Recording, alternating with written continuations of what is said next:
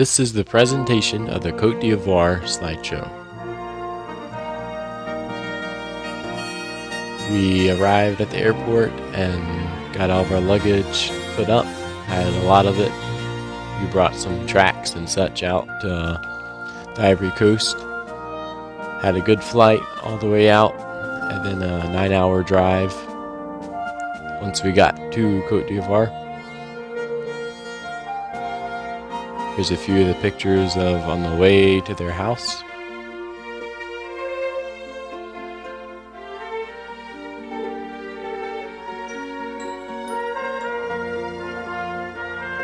Here's the church driveway slash road. We worked on that and got part of it filled in. It was a joy to be able to work with the Cuthbertsons and be able to work with some of the Ivorians there. Here's some Muslims that are very devoted. Here's one of the roads close to the church. This is somewhat normal of a road. Normally they're pretty bumpy and rough. Helps give us Americans a little more appreciation for how good the roads are.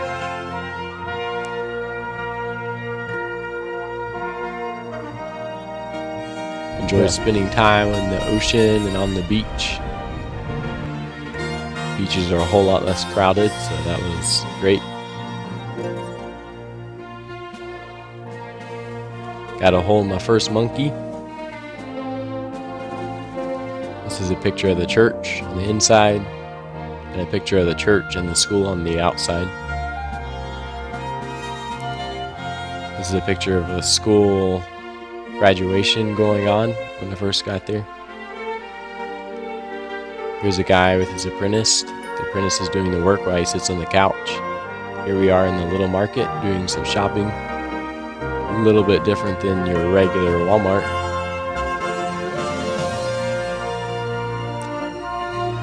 Matthew and Susanna Schrock, they had their baby while we were there.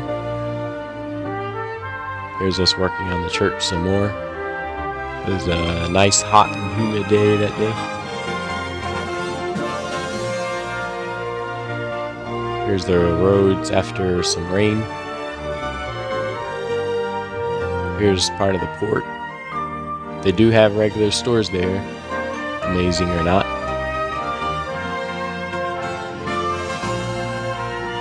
This is the house uh, that I got a, the privilege to stay in. This is the hot water system. This is the view from the top. We were about a half a mile from the beach. This is Joseph playing with the kids on Saturday mornings. This is Miss Cupperson teaching them a Bible lesson. It was cool because we got to see four kids saved out of that ministry. Here is French bread. It's about 25 cents per loaf. This is when we were working on the church roof. We replaced a lot of the screws and such. Here we are working on a shower for the camp.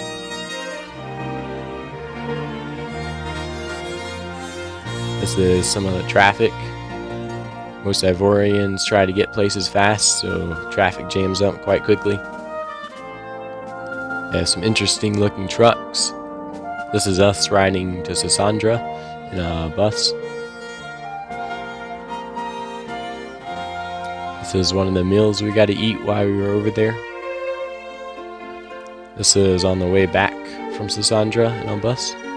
This is the seat I got to sit on. It was at quite the angle. Here's a fabric shop. Here's at the big market.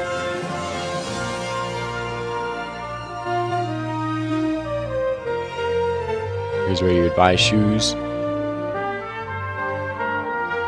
Here's where you would just buy just about anything.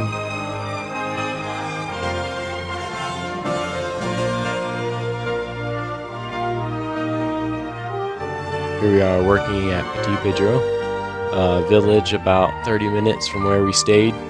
We worked on a building there for the kids and for the ladies to have their Sunday school and classes in.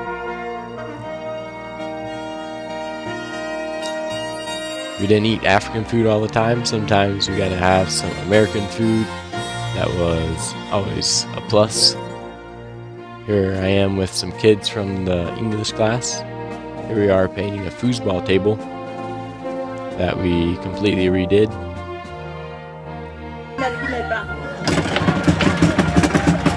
And here's some Ivorian kids playing foosball. Here's another Saturday morning class. Here's Matt Schrock standing by a group of guys that we just handed out a bunch of tracks to. Here is in a village.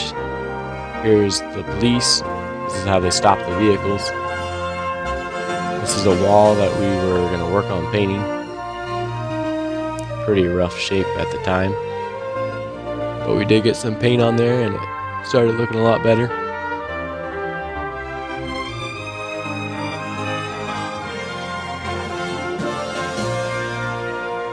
There's a wide angle shot of all the paint. That's us after teaching some English class. Playing with some of the kids.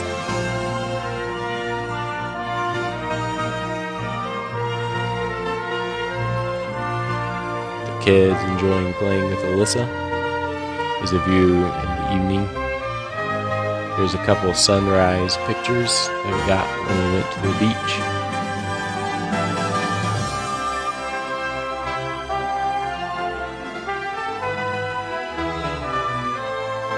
Most of all is just a joy to be able to serve our wonderful Lord who saved me and who sent his son to pay the price for what all I've messed up on. I thoroughly enjoyed just getting to serve him and I enjoyed, you know, stay with the Cuppersons and I just want to thank our wonderful Lord. Thanks for watching.